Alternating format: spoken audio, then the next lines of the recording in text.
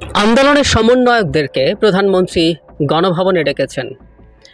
তিনি বলছেন, গণভবনের দরজা খোলা আছে। আমারও মনে হয় গণভবনের দরজাটা খোলা রাখা দরকার, তবে সেটা সমন্বয়কদের জন্য না, সেটা কাদের জন্য আমি ভিডিও শেষ দিকে বলছি। আজ উনি পেশাজীবী সংগঠনের সাথে বসেছেন। বলা বাহুল্য যারা যারা আজকে গেছে, এদেরকেও চিনে রাখতে হবে। এরা হলো কঠোরতম আওয়ামী দালাল। বিভিন্ন সেক্টরে তো দালাল তৈরি করেছে, এটা পেশাজীবী দালাল সো এটা আমাদেরকে একটু খেয়াল করে রাখতে হবে।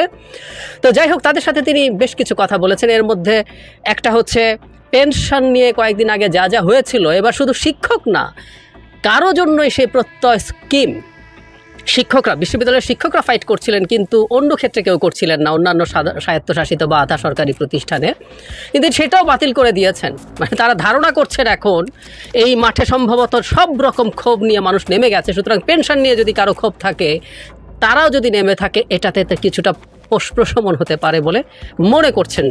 হবে কি না আসছি সে জায়গায়। আর কি হয়েছে? মামলা থেকে শিক্ষার্থীদেরকে মামলা থেকে যারা বন্দি আছে তাদেরকে ছেড়ে দিতে বলা হয়েছে। প্রধান কথাটা হচ্ছে এই, আড়াইশো মানুষকে হত্যা করা হয়েছে। আড়াইশো মানুষের সংখ্যাটা আমরা জানি, দুশো ছেষট্টি আমরা জানি। প্রধানমন্ত্রী জানেন এটা এক হাজারের বেশি বা দু হাজার তিন হাজার ইট কুড বি এনিথিং। এখানে হাজার হাজার আহত হয়েছে, অন্ধ হয়েছে। এসব কিছু জানার পরও যে প্রধানমন্ত্রী তার বাহিনীকে দিয়ে অন্তত বারো হাজার মানুষকে গ্রেফতার করিয়েছেন তিনি এখন বলছেন, ওদেরকে ছেড়ে দেবেন। তিনি এখন বলছেন, তিনি আর সংঘাত চান না। এক তারিখেও একটা বক্তৃতায়, আমি আমার অ্যানালিসিস করেছি ওটা নিয়ে, এক তারিখের বক্তৃতাতেও তিনি বলেছেন, শিক্ষার্থীদেরকে জঙ্গিরা হত্যা করেছে। সেখানেও তিনি, স্থাপনা তো বটেই, ময়লার গাড়ি ময়লার গাড়ি পুড়িয়ে দিয়েছে, যে ময়লার গাড়ি কম্প্রেস করে ময়লা ফেলে, অত্যাধুনিক ময়লার গাড়ি, সেটা নিয়ে শোক করেছেন। যেখানে আমরা গণহত্যা নিয়ে কথা বলছি, সেখানে ছাত্রলীগ নেত্রীকে ত্রিশ বার কান ধরে উঠবস করিয়েছে, সেটা নিয়ে দুঃখ প্রকাশ করেছেন এই প্রধানমন্ত্রী, তাই না? এখন উনি সংঘাত চাই না বলছেন। কেন? কারণ আসলে উনি আর ক্ষমতায় নাই। এটা উনি যেমন বুঝতে পারছেন, এদেশে জনগণ বুঝে গেছে, সবাই নেমে গেছে, এমনকি আওয়ামী লীগের দালালরাও প্রোফাইল টোফাইল লাল করে এখন মাঠে নেমে গেছে, হাওয়া বুঝে। আমরা আপাতত তাদেরকে কিছু বলছি না। এদের সাথে আমাদের পরবর্তীতে কথা আছে। লোকজন পালাচ্ছে।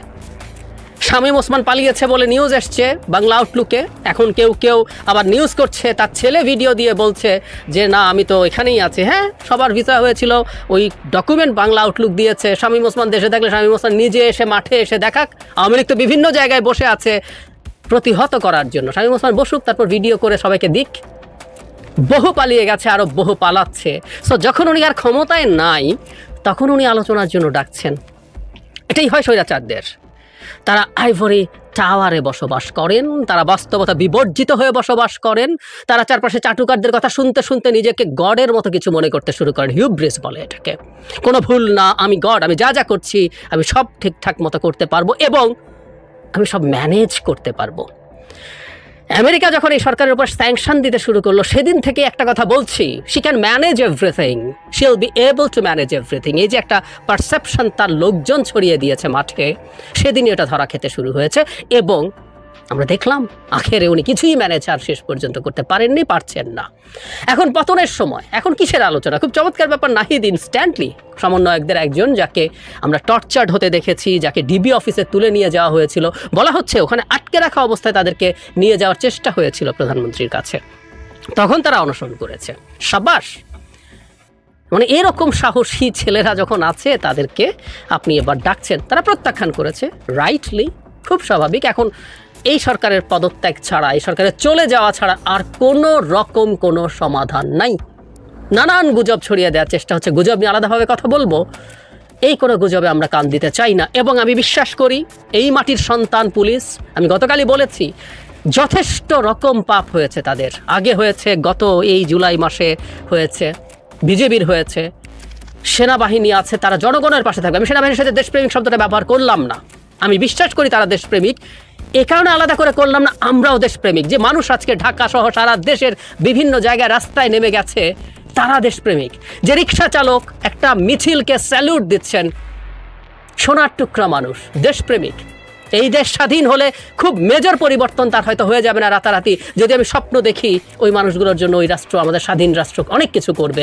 তারপরও উনি কেয়ার করেন না। উনি রিক্সা বাকি জীবন চালাতে উনি একটা স্বাধীন দেশে রিক্সা চালাতে চান, মানবিক মর্যাদা নিয়ে বাঁচতে চান। সো সবাই দেশপ্রেমিক আমি বিশ্বাস করি আমাদের দেশপ্রেমিক সবগুলো বাহিনী যথেষ্ট হয়েছে। তারা জনগণের জনগণের সাথে থাকবেন। একটা পচে যাওয়া, দুর্গন্ধ ছড়ানো বিভৎস একটা বর্বর স্বৈরাচারের পক্ষে তারা আর থাকবেন না। জনগণের দিক থেকে বলতে চাই, প্রধানমন্ত্রী, গণভবনের দরজা খোলা থাকুক। তাদের জন্য যাদের কাছে পাওয়ার ট্রান্সফার করতে হবে আপনাকে।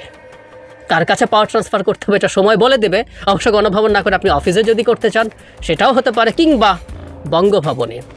সবগুলো দরজা খোলা থাকুক। পাওয়ার ট্রান্সফার হতে আর খুব বেশি দেরি নাই।